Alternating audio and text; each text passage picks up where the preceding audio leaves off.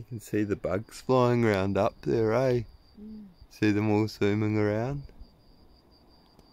These guys have uh, cottoned onto a good thing. Mm. With the stars.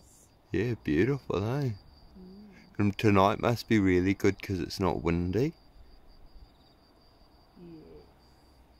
It's a lot harder to hold your hands at this position than the other one. Mm.